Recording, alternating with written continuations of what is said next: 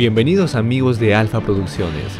Yo soy Wilson Valencia, trayéndote las noticias más impactantes que ocurre en El Salvador actualmente. Así que pongan mucha atención y vamos con la noticia.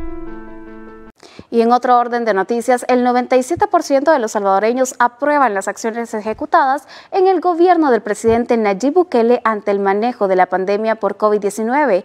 Esto según los más recientes resultados de una encuesta realizada por Sid Gallup.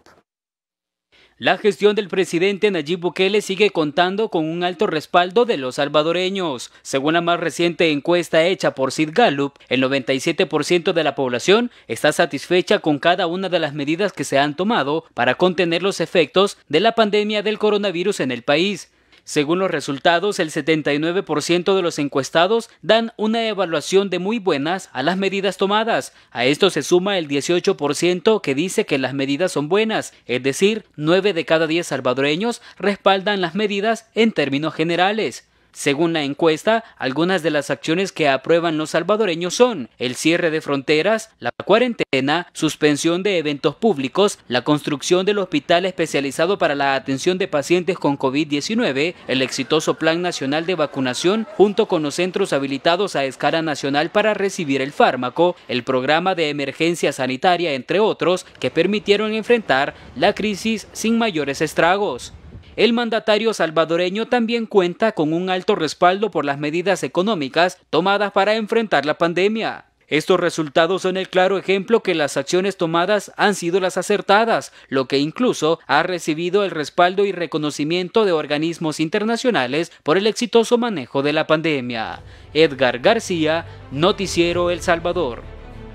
Por cierto, el presidente de la República, Nayib Bukele, destacó el alto grado de aprobación de los salvadoreños por las medidas tomadas para combatir la pandemia del COVID-19. En redes sociales, el mandatario publicó 97%, 97%, 97%. Recordemos que El Salvador se ha convertido en un referente a escala internacional por las estrategias implementadas por el gobierno de la República.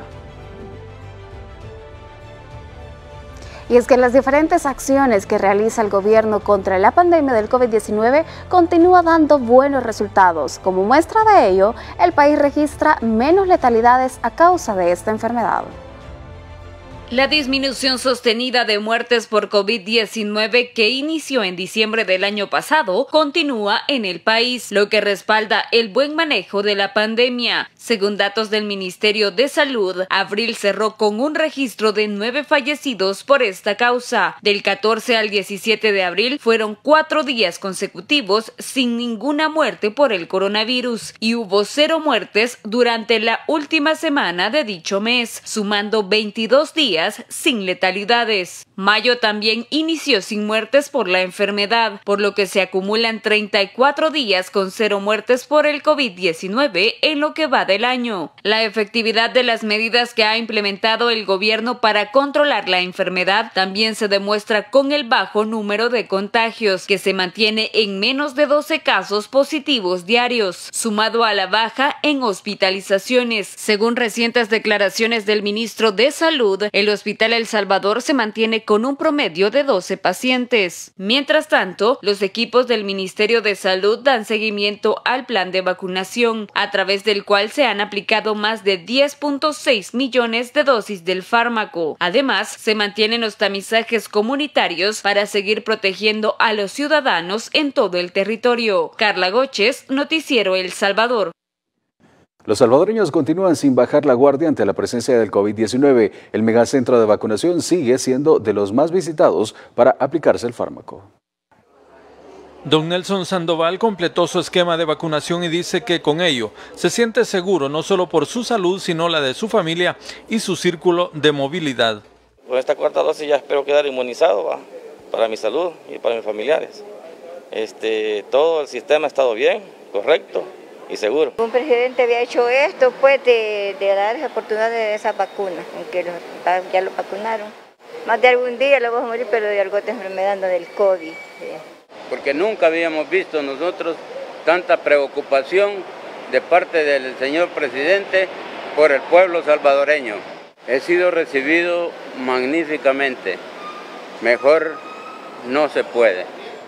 Los buenos resultados del manejo de la pandemia ha permitido que El Salvador se ubique entre los países de bajo riesgo a nivel internacional, pero esto no ha sido causal ni motivo para que los salvadoreños descuiden su esquema de vacunación. Excelente, la verdad que excelente. La atención, la guía para llegar, la información, aquí nada, nadie se pierde, o sea, rápido. Acabo de venir quizás hace unos cinco minutos y ya me vacunaron, ya me voy. Con toda mi familia estamos muy admirados porque es el primer presidente que vemos que de verdad se preocupa por el pueblo. Y de hecho yo he viajado a Cojutepeque y hablé con un ancianito de allá y él me decía que está súper agradecido con Dios y con el presidente porque sí se siente, todo el pueblo sí sentimos todo el apoyo, el cariño que tiene el presidente hacia nosotros y siempre pasamos orando por él y por la protección de él, su familia y todos los que trabajan de corazón para el pueblo. Los más de 300 puntos de atención siguen habilitados a nivel nacional. Recuerde, la aplicación de dosis es gratuita y segura. Además, no requiere de cita previa. El esquema puede ser aplicado desde los 6 años y la cuarta dosis a partir de los 12 años. Alex Landaverde, Noticiero El Salvador. Siguiendo con la información, veamos el siguiente titular y la siguiente nota y vamos a compartir información que se ha generado en las últimas horas a través de la cuenta de Twitter del Ministerio de Salud. Ellos informan que el día de ayer no se registró ningún deceso por COVID-19. Leemos la publicación. El 3 de mayo no registramos ningún deceso por COVID-19. Es el tercer día consecutivo de este mes de mayo que no reportamos fallecidos a causa de la enfermedad. Continuando con las noticias y haciéndote recordar que puedes dar tu opinión en la sección de los comentarios.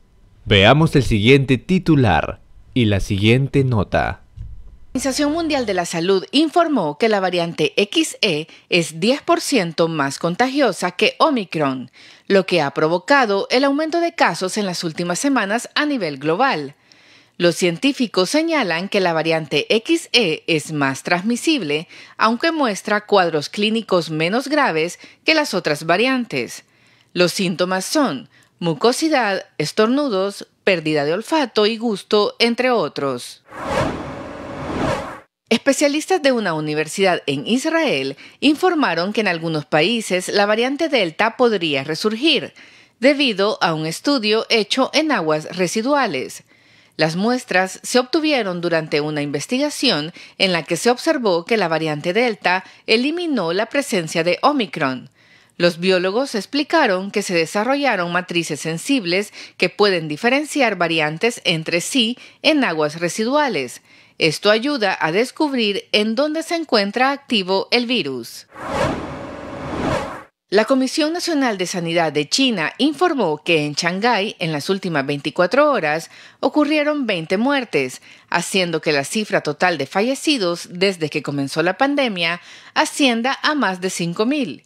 Las autoridades contabilizaron 384 nuevos casos el último día.